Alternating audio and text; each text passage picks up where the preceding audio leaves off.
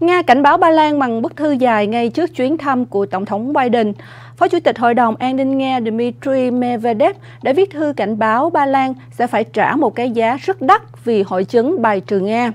Lợi ích của người dân Ba Lan đã bị tổn hại vì hội chứng bài trừ Nga của các chính trị gia tầm thường và kẻ giật dây họ từ bên kia đại dương, với những dấu hiệu rõ ràng về chứng mất trí nhớ tuổi già. Dẫn lời Phó Chủ tịch Hội đồng An ninh Nga, Medvedev đã ám chỉ Tổng thống Biden được viết trên Telegram vào hôm 21 tháng 3.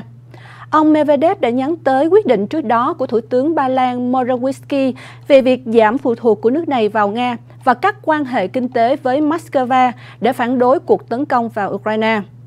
Ông Medvedev còn chỉ trích Ba Lan và cách tuyên truyền của nước này là những lời chỉ trích xấu xa, tầm thường và chói tai nhất về nước Nga.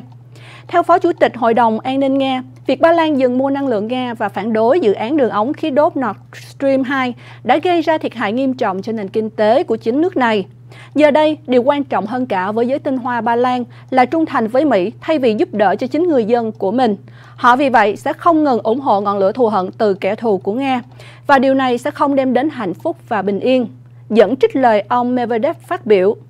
Cảnh báo được ông Medvedev được đưa ra sau khi thư ký báo chí Nhà Trắng Jen Psaki thông báo rằng Tổng thống Mỹ Biden sẽ thăm Ba Lan sau khi dự hội nghị thượng đỉnh NATO vào cuối tuần này. Thủ tướng Ba Lan trước đó đã cho biết sẽ đề xuất triển khai lực lượng gìn giữ hòa bình tới Ukraine trong hội nghị thượng đỉnh NATO này. Hội nghị thượng đỉnh NATO nhằm để thảo luận về cuộc chiến của Nga ở Ukraine, cũng như là năng lực phòng thủ và răng đe của liên minh quân sự. Xung đột tại Ukraine dường như chưa có dấu hiệu hạ nhiệt, Nga vẫn tiếp tục nỗ lực bao vây các thành phố lớn của Ukraine, trong khi Tổng thống Zelensky tuyên bố quyết không đầu hàng trước tối hậu thư.